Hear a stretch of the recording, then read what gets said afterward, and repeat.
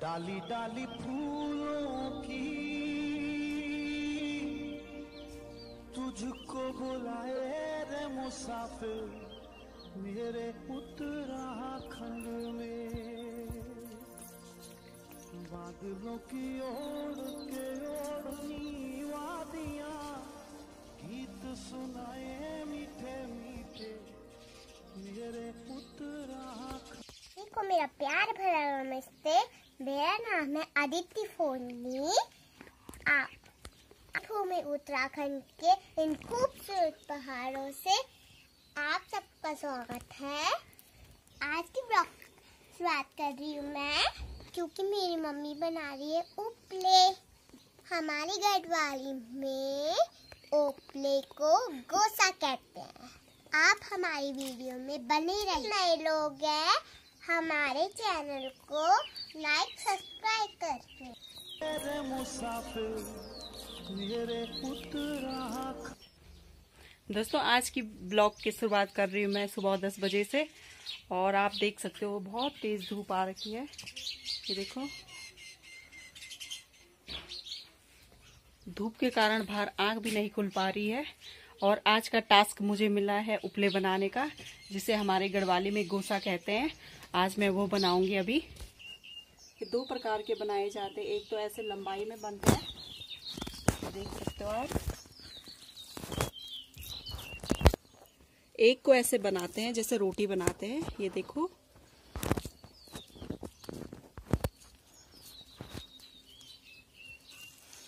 इनको हम अलग अलग सेप देंगे।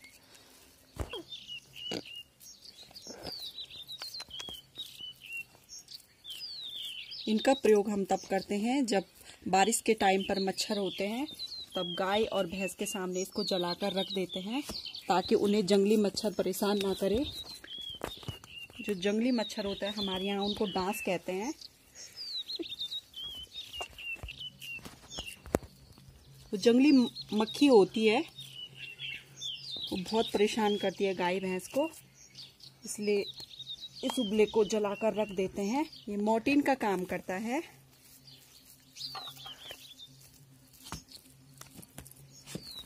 मम्मा।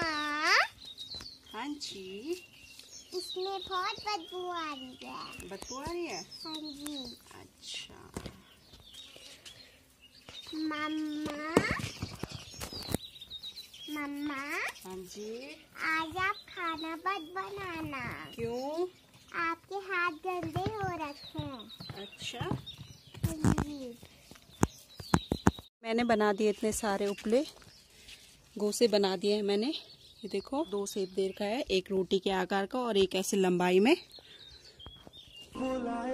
रे मुसाफिर मेरे उत्तराखंड में। बादलों की ओर के ओढ़नी वादियाँ गीत सुनाए मीठे मीठे मेरे उत्तराखंड में। अभी आ गई हूँ मैं नहा के और साथ ही साथ मैंने कपड़े भी धुल दिए थे तो सारे कपड़े मैंने धूप में सुखाने के लिए डाल दिए हैं। अभी करती हूँ मैं लंच की तैयारी तो मैं लंच बना दोस्तों, आज के लंच में मैं बना रही हूँ फाड़ा। वैसे फाड़ा उससे बनता है गैथ की दाल से बनता है, मगर मैंने आज अरहर और जो मलका होती है, मसूर बोलते हैं जिसको, उसको भिगाकर मैंने बारीक से पीस लिया है सिलवट्टे में। तो आज मैं बनाऊँगी फाड़ा। ये मैंने दाल बिल्कुल बारीक पीस ली है, ये देखो पीस लहसुन पीसा हुआ है और मिर्च पीसी हुई है। अब मैं इनकी बनाऊँगी छोटी छोटी पकौड़ियाँ। कोई बनाता है कोई नहीं बनाता है बट मैं बना रही हूँ अभी। तेल हो गया हमारे अच्छे से गरम। और फाड़ू बहुत अच्छा होता है खाने में बहुत टेस्टी होता है। अभी बनाऊँगी मैं इसमें छोटी छोटी पकौड़ियाँ।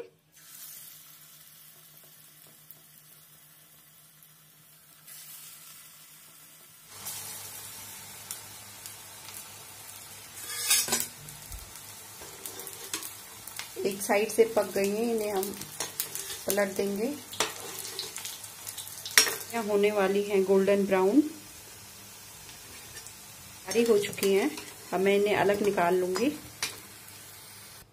अभी मैं आप अपने बेटे से पूछूँगी कैसे हो रही है पकौड़ियाँ? अच्छा बहुत अच्छी हो रही हैं? उसको गर्म भी लग रहा है फिर भी वो खाए जा रहा है। मैंने यहाँ पर निकाल दी हैं पकौड़ियाँ। तेल भी अच्छे से गर्म हो गया है। और मैं डालूँगी इसमें जीरा।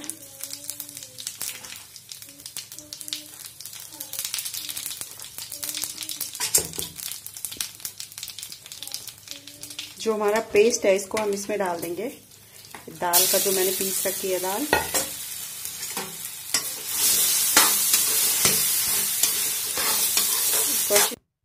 अब मैं इस दाल को अच्छी तरह से भूनूँगी। भुनने से दाल का कच्चापन हट जाता है और ये खाने में और भी ज़्यादा टेस्टी होती है।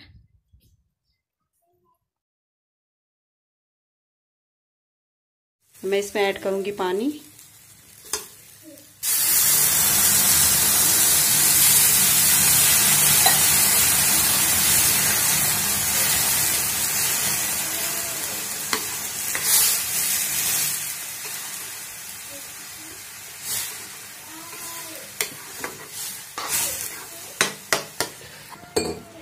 इसमें हम टमाटर प्याज ऐड नहीं करेंगे।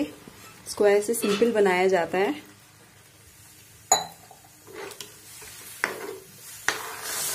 इसमें लहसुन, हरी मिर्च और जीरा, ये सब मैंने पीस के रखा हुआ है।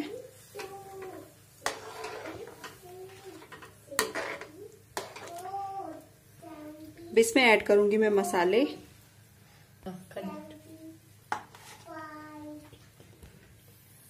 नमक ऐड करूँगी स्वाद अनुसार। अब मैं मसाले ऐड करूँगी। ये मिक्स मसाले हैं, जो बेसिक मसाले होते हैं। अब मैं इसमें पकौड़ियाँ ऐड करूँगी। ये देखो।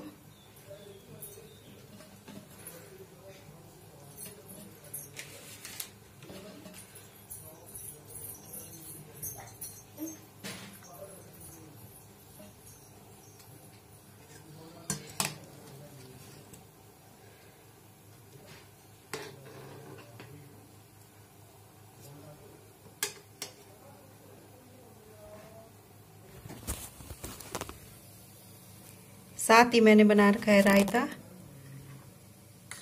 देखो। इसमें मैं नमक और मसाले बाद में ऐड करूँगी क्योंकि नमक डालने से बिल्कुल खट्टा हो जाएगा। तो जब हम खाने की तैयारी करेंगे तभी मैं इसमें नमक ऐड करूँगी।